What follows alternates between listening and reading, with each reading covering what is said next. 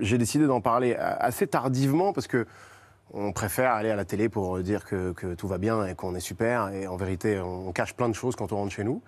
Et puis quand j'ai commencé à en parler un petit peu par hasard au détour d'une interview, je me suis rendu compte que j'ai reçu des, des, centaines et des centaines de messages et de petits gamins et de parents qui ne savent pas trop comment s'y prendre avec leurs gamins, qui ont ce problème qui nous empêche d'avoir une scolarité normale. Mais ça implique tellement de choses de ne pas avoir une scolarité normale. Ça veut dire qu'on ne peut pas se construire, ça veut dire que ben, on a des mauvaises notes et, toute ta jeunesse, toute ton adolescence, finalement, euh, ce n'est rythmé que par ça. Qu'est-ce que tu as comme diplôme? Qu'est-ce que tu veux faire comme métier? Qu'est-ce que tu as eu comme note?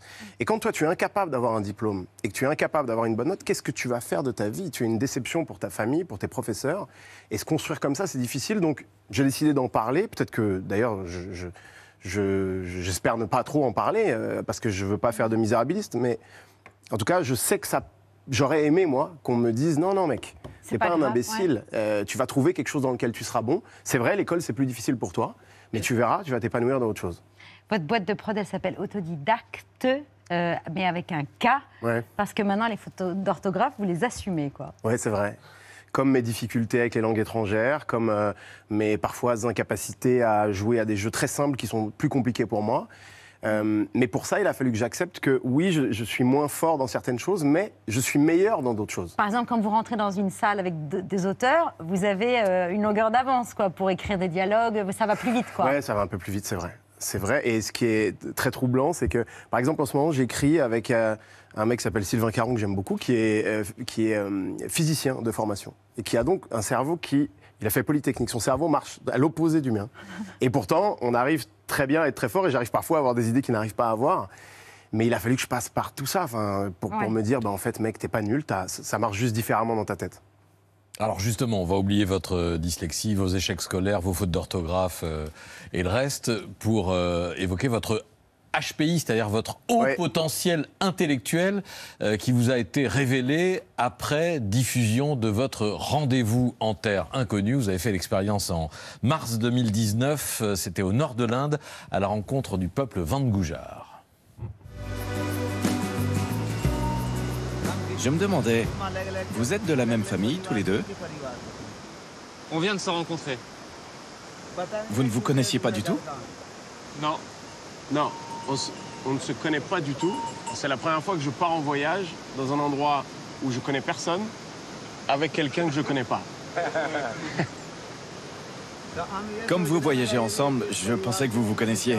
Nous, on est de la même famille. On est cousins et amis aussi. Vous êtes beaucoup ensemble, souvent, tous les deux On est toujours ensemble. Alors il s'est passé un truc, Moustou et Roshan, auxquels je continue de penser beaucoup. Ouais. très bien.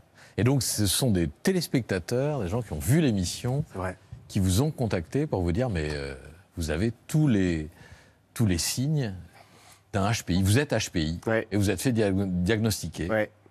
Euh, oui, alors, c'est euh, principalement par rapport à un extrait, si vous vous en souvenez, si vous avez vu l'émission, où Frédéric Lopez m'a totalement abandonné Bah oui. à l'aéroport, puisqu'il arrêtait l'émission et il a décidé de- d'en faire un événement.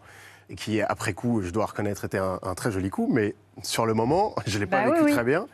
Il Et- vous annonce qu'il part pas avec vous et que c'est. Oui, sauf que moi, je, je- je- évidemment, euh, je sais qui est Frédéric Lopez, j'ai parlé des heures et des heures avec lui, on s'aime beaucoup.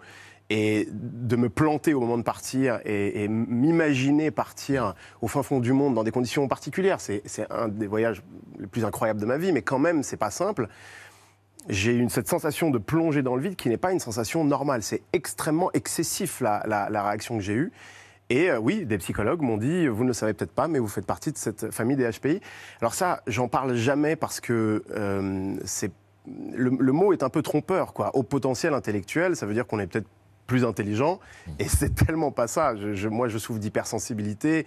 Il y a des choses qui me touchent, qui ne devraient pas me toucher autant. Il y a des choses qui me blessent, qui ne devraient pas me blesser autant. Donc c'est un handicap euh, difficile, et, et- et je sais qu'il y a des tas de gens qui, le- qui le sont et qui ne le savent pas. Mais Et alors bien sûr, quand on le sait, on, on peut en tirer avantage. Exactement, et puis surtout, on, on- on- on- on comprend plus qui on est, on comprend plus pourquoi on est Et on comme peut ça. élaborer des stratagèmes éventuellement Et il le pour faut. vivre de façon Il moins douloureuse certains Exactement. événements. Mais comme par exemple, c'est un sujet très à la mode, mais euh, quand on est une, une personnalité publique, on est exposé à ce qu'on nous aime et puis on est aussi exposé à ce qu'on nous aime pas, même si on n'a rien fait pour qu'on nous aime pas. C'est extrêmement injuste. Mais dans ma petite tête à moi, pendant très longtemps, ça a été une souffrance terrible de se dire mais comment, pourquoi tu m'aimes pas? J'essaie de faire des films drôles avec mes potes, j'ai rien fait de mal, pourquoi tu m'aimes pas? Et puis c'est le jeu. Alors maintenant, j'ai beaucoup de recul par rapport à ça, mais par exemple, euh, il y a quelques années encore, quand je recevais des messages négatifs sur les réseaux sociaux, je me disais, mais pourquoi c'est le message négatif qui te touche beaucoup plus? Tu reçois 200 messages d'amour, deux messages de reste haine, bloqué. et les deux messages de haine, tu as envie de lui répondre pour qu'il t'aime, pour lui dire, mais tu te trompes, je suis un mec cool. Bon, maintenant j'ai compris, je réponds plus à ça, mais j'ai compris que c'était aussi à cause de ça que ça me touchait trop, en fait.